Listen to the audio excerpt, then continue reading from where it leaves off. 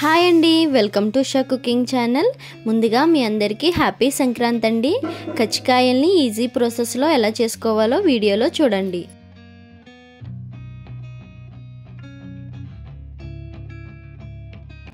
ఒక బౌల్ తీసుకుని అందులో కప్పున్నర దాకా మైదా వేసుకోవాలండి. మైదా వేసుకున్న తర్వాత అందులో వేడి చేసి పెట్టుకున్న రెండు టేబుల్ స్పూన్ల ఆయిల్ని వేసుకోవాలి. ఆయిల్ వేసి కలుపుకున్న తర్వాత అందులో కొంచెం ఉప్పు వేసుకోవాలండి.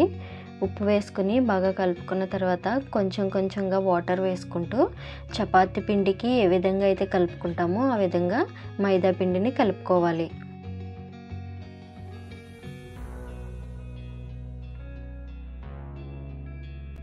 ఈ విధంగా కలుపుకున్న తర్వాత పది నిమిషాలు మూత పెట్టి పక్కన ఉంచాలండి. తర్వాత స్టఫింగ్ కోసం కొబ్బరి బెల్లాన్ని రెడీ చేసుకోవాలండి. దానికోసం స్టవ్ పై ప్యాన్ పెట్టుకుని ఒక కప్పు తురిమిన బెల్లాన్ని వేసి కొంచెం వాటర్ వేసుకుని బెల్లాన్ని కరగనివ్వాలండి. బెల్లం మొత్తం కరిగి లైట్ జిగురుపాకం రాగానే రెండు కప్పుల కొబ్బరి తురుమును వేసుకోవాలండి. వేసుకున్న తర్వాత మంటను లో ఫ్లేమ్లో పెట్టుకుని కొబ్బరి తురుము బెల్లంలో కలిసేటట్టు బాగా కలుపుకోవాలి.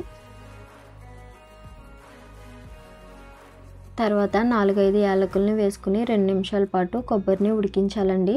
ఇలా ఉడికించిన తర్వాత కొంచెం చేతిలోకి తీసుకుని చూస్తే రౌండ్ బాల్ షేప్ వచ్చిందంటే స్టవ్ ఆఫ్ చేసుకుని కొబ్బరిని వేరే గిన్నెలోకి తీసుకోవాలండి.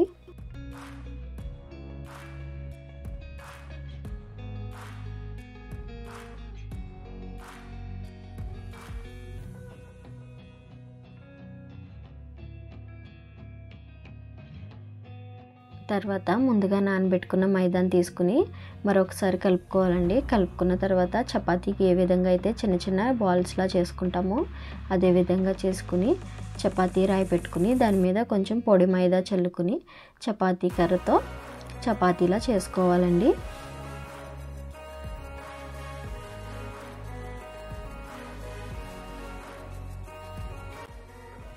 మరీ పల్చగా కాకుండా మరీ మందంగా కాకుండా ఈ విధంగా ఉండేటట్టు చేసుకోవాలండి. తర్వాత కచ్చికాయ చెక్కను తీసుకుని దానికి కొంచెం మైదా అప్లై చేసుకోవాలి. రోటీని ఉంచి ముందుగా మనం ప్రిపేర్ చేసి పెట్టుకున్న కొబ్బరి బెల్లాన్ని రెండు స్పూన్ల దాకా వేసుకోవాలండి. ఇలా వేసుకున్న తర్వాత చుట్టూ తడి చేసుకోవాలండి.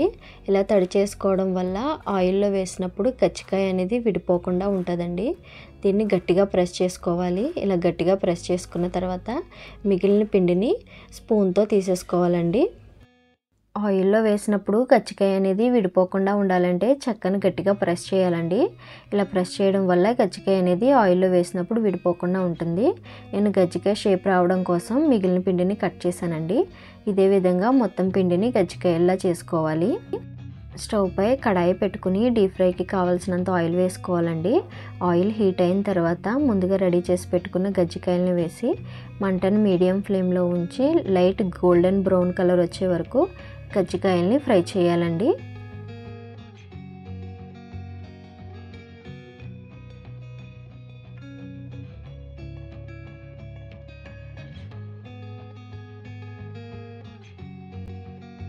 మిగిలిన గజ్జికాయలను కూడా ఇదే విధంగా ఫ్రై చేసుకోవాలండి. ఈ సంక్రాంతికి మీ పిండి వంటలతో పాటు ఈ కజ్జికాయ రెసిపీని కూడా ట్రై చేసి చూడండి. చాలా టేస్టీగా ఉంటుందండి. లోపల కొబ్బరి బెల్లాన్ని పెట్టాం కాబట్టి తీయగా చాలా క్రిస్పీగా ఉంటుందండి. మీకు ఈ వీడియో నచ్చినట్లయితే తప్పకుండా ఉషా కుకింగ్ ఛానల్ని సబ్స్క్రైబ్ చేయండి. లైక్ చేయండి షేర్ చేయండి. Thanks for watching.